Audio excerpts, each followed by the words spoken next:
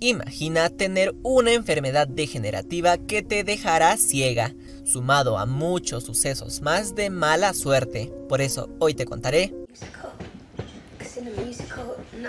La película comienza cuando conocemos a Shelma, una madre soltera que vino de Checoslovaquia a Estados Unidos buscando el preciado sueño americano. Lástima que todo su mundo acabará cayéndose. En fin, vemos que ella está en un grupo de baile y así, ya que le gusta bailar y cantar. Luego vemos también que Shelma va al médico oculista, donde se hace un análisis para seguir en su trabajo, porque resulta que ella tiene una enfermedad degenerativa que la terminará dejando ciega. ¡Uy, qué mal! Pero ella de rendirse nada, le miente al médico oculista diciéndole que ve bien, para que siga trabajando y ganando dinero, dinero que ella busca juntar con tanto esmero para su hijo, porque su enfermedad de visión degenerativa es también hereditaria, es decir que como ella va quedándose ciega, su hijo también se irá quedando ciego, y por ello ella está juntando dinero pues para pagarle la operación a su hijo antes de que sea tarde. Ah, entiendo.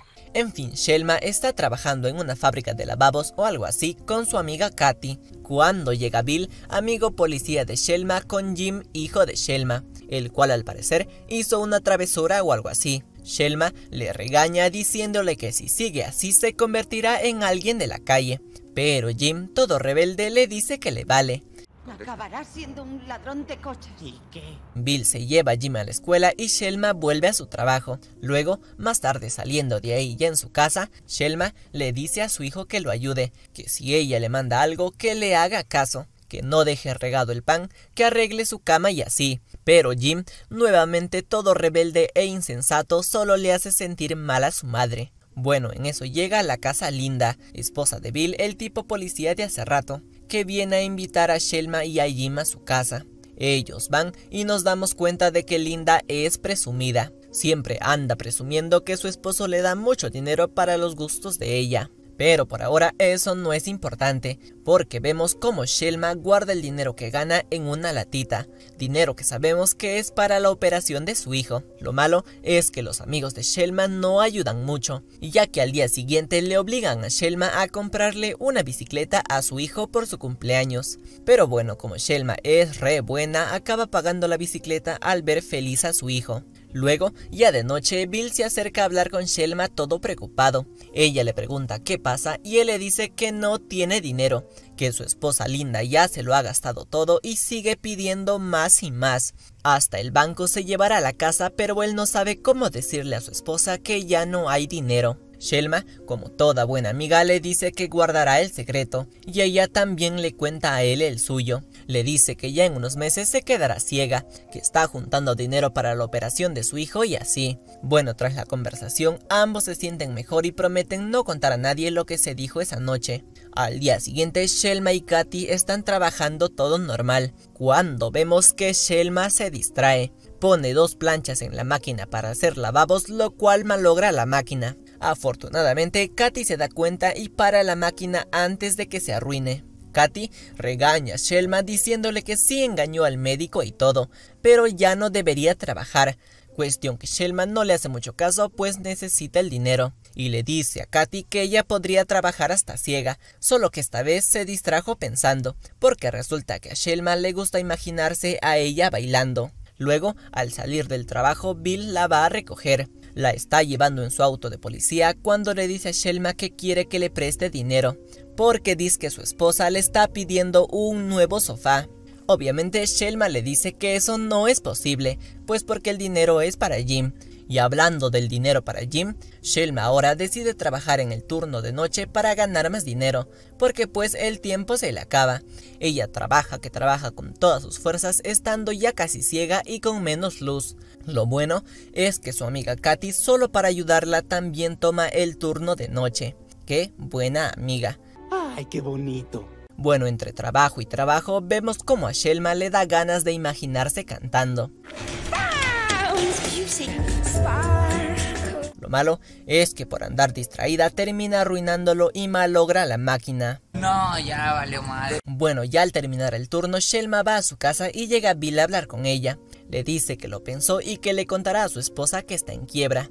Shelma le dice que pues es una buena decisión y así, y Bill simula irse. Sí, él simula irse y solo cierra la puerta para que Shelma, que está casi ciega, piense que él ya se fue. Y esto lo hace Bill para ver dónde guarda su dinero Shelma.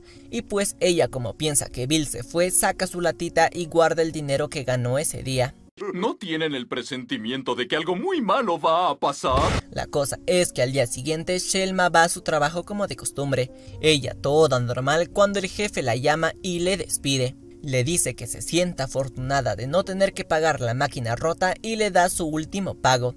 Y no solo eso, sino que cuando Shelma va a guardar el dinero que ganó ese día, resulta que ese pinche dinero no está en la latita, porque pues Bill se lo robó. Shelma va a la casa de Bill y Linda le grita, diciéndole que Bill le contó que Shelma quiso seducirlo a él por dinero. Mentiroso. Mentira. Shelma, toda extrañada, ignora a Linda y sube al segundo piso a buscar a Bill. Él está sentado en su oficina y le dice que el dinero se lo podrá llevar el mes que viene, que solo será un préstamo. Pero sí voy a devolvértelo el mes que viene. Obviamente Shelma tiene que llevarse el dinero y se lo está llevando cuando Bill le apunta con su pistola reglamentaria. Ella, toda asustada, le ruega que por favor le deje irse con su dinero y Bill solo llama a su esposa diciendo que Shelma le está robando. ¿Qué haces? ¡No lo hagas! ¡Linda! Linda se va al carro de Bill a traer las esposas, mientras que Shelma y Bill se quedan forcejeando por el dinero, cuando en eso se escapa un disparo hiriendo a Bill. En eso vuelve Linda y el todo malo sigue fingiendo que Shelma le está robando y le dice a su esposa que se vaya a los vecinos a llamar a la policía. Cuestión que Linda se va y Bill le ruega a Shelma que lo termine de matar, y pues ella llorando lo hace. Bueno, tras esto, Shelma, ahora con la vida destruida gracias a Bill, se va a un río a lavar el dinero que estaba con sangre, y luego se va al médico y paga por adelantado la operación de su hijo. En fin, luego, mientras Shelma piensa qué hacer, se va al teatro donde ensayaba a bailar. Está ahí cuando al profesor le llama la policía diciéndole que están buscando a Shelma. Así que pues, él la retiene a ella hasta que llega la policía a llevársela cuestión que se hace un juicio para determinar el destino de Shelma, y todo vale madres. Su jefe miente diciendo que Shelma odiaba el capitalismo y amaba el comunismo. Linda miente diciendo que Shelma preguntaba por el dinero y que escuchó a su esposo suplicar piedad y así. Pero la cereza del pastel es que la misma Shelma no cuenta la verdad, porque resulta que es tan buena amiga que el secreto que Bill le contó de que estaba en quiebra ella no lo dirá. Así que pues, así ella solo acaba pareciendo más culpable. Incluso ni que el dinero era para la operación de su hijo decide contar. Y así, obviamente Shelma es declarada culpable y sentenciada a muerte por ahorcamiento. ¡Qué mal! Luego, Katy va a verla a la cárcel y Shelma le dice que lo único que pide es que le entregue una carta a Jim y que éste se opere ya que la operación ya está pagada en el hospital. Bueno, las cosas van así horribles y tristes, hasta que llega una luz de esperanza, un abogado que puede reabrir el caso y aplazar la ejecución. Lástima que Katy ofreció pagarle con el dinero que es para la operación de Jim. Así que pues, como conocemos a Shelma, ella no dejará que eso pase, y decide despedir al abogado con tal de no gastar el dinero de su hijo. O sea que a huevo ella terminará muriendo. Shelma, ahora totalmente ciega, camina los 107 pasos hasta la horca. Pero antes de que suceda, Katy se acerca y le dice que su hijo ya está operado, para luego Shelma ser ahorcada y dejar de tener vida. Lo bueno es que murió sabiendo que siempre hizo lo correcto, nunca traicionó a sus amigos, nunca hizo daño a nadie y sobre todo que dio su vida por su hijo. En fin, fin. Moraleja, no le des todo el dinero a tu esposa y menos le robes a una Shelma. Suscríbete, activa la campanita, un saludo para las nuevas personas que están llegando a este canal. Adiós.